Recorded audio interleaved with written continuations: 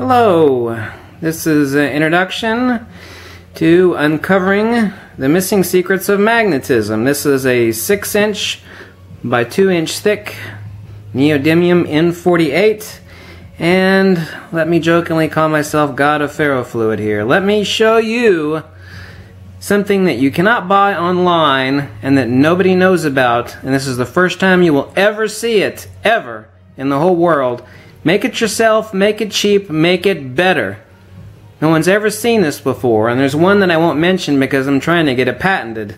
It's a special su suspension that no one has ever seen.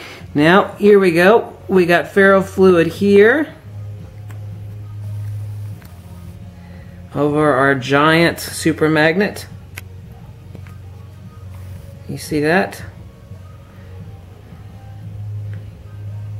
Now, this is 10 drops of ferrofluid in a sugar solution. What you do is you take this test tube or any vial like it, and you put in a large pinch of sugar and some hot water, shake it up to dissolve it, drop in your 10 drops of ferrofluid, then fill the rest of it up with water, and then seal it off. This is what basic you'll find everywhere for sale. I've tested a lot of different suspensions of ferrofluid. Now let's look at a neater one. One that no one's ever seen. Here you go. Same amount of ferrofluid. I don't know if you can see it in the video very well.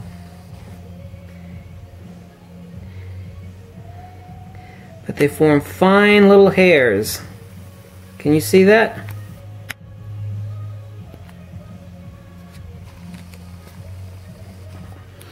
Let me bring them up here.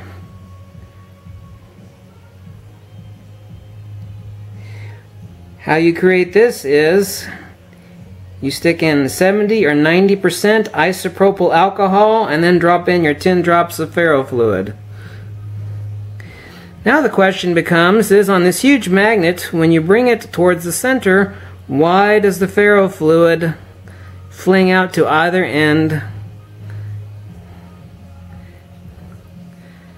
of the beaker? Well, download the free book Uncovering the Missing Secrets of Magnetism. That's kathodos.com forward slash magnetism.pdf. That's kathodos, K A T H O D O S dot com forward slash magnetism dot pdf. It's a free book. Second edition, 110 pages. Third edition is going to be an additional 40 pages. Make your own ferrofluid. You can order it on eBay. Nobody out there has ever made ferrofluid with this suspension before with isopropyl alcohol. You can't see it too extremely well without a strong backlight, but this is the best suspension. There's actually another suspension that doesn't use ferrofluid, but another ferrous material that I'm trying to get patented that actually shows the vortex nature of a magnet. This is conventional ferrofluid using sugar, basically sugar water, the full saturation. You see the spikes? Now you ask yourself, as I come closer to the magnet, why a ferrofluid is basically just nanoparticle uh, nanoparticles of iron in a uh, in a viscous uh, oil solution. You can make a really crappy analog of ferrofluid by using a ferromagnetic toner ink in baby oil, although it's really crude and it doesn't work as well as this nanoparticle ferrofluid or professional ferrofluid. Why, when I bring this to the center of the magnet, is it pushed outwards? Well, that's because every magnet does not have two poles. It has a dielectric inertial plane along the center. They call it the Bloch wall, but that's incorrect. That's the dielectric inertial plane. There are four pressure zones on either side, and two pressure zones in a 360 degree sweep the two dielectric inertial planes. You have a centripetal field returning from the other side here. Max velocity is on the outer perimeter. Supermagnet man, George Mizell, is able to create 1.5 Tesla and 3 Tesla magnets by stacking magnets smaller and smaller and smaller into a pyramid shape, focusing the centrifugal, meaning going outwards, magnetic velocity into the next magnet, the next magnet, the next magnet, creating a very small tight pressure zone up to 3 Teslas. So what you think you understand about magnetism, I assure you, you do not. Download the free book, second edition, 110 pages. Third edition is on the way with 40 more pages, plus or minus. You'll have the first rational, logical, sensible understanding of what a magnet is and how it works, the magnetodielectric conjugate system of vortex pressure equalization.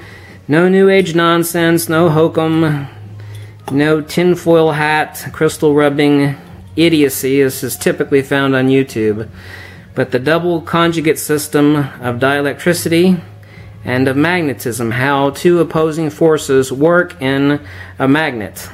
What you think of as a magnet is not a magnet, it's a dielectric object with a ratio of 3.236 parts of dielectricity from electrification in the creation of a magnet to one part of magnetism. So the quote unquote magnet that you think is a magnet is not, it is a dielectric object with almost four times as much dielectricity, which causes the magnetic vortex to process centrifugally and centripetally. That's why we consider a magnet a magnet because magnetism is spatial and dielectricity is centrifu- as uh, centripetal is inertial and is counterspatial. Magnetism, i.e., polarization, i.e., spatial polarization, is why we think of a magnet as a magnet. So, this isn't really part one of uncovering the missing secrets of magnetism, but I was giving you a little primer on creating your own ferrofluid. This is a isopropyl solution, isopropyl alcohol solution. Actually, this one is the isopropyl alcohol solution. I wish you could actually see the hairs very well because this is the best solution of ice of uh, ferrofluid that you can make just using rubbing alcohol and ferrofluid. Use 5 large drops to 14 dro drops max in a test tube like this for example. This is the standard sugar water one. You take uh, water and you saturate it to the max point with sugar and then you drop in your ferrofluid and cap it off and here you go. So you got this Conventional one everyone buys on eBay and whatnot is sugar water. Here's one that nobody is making. Which is the isopropyl solution.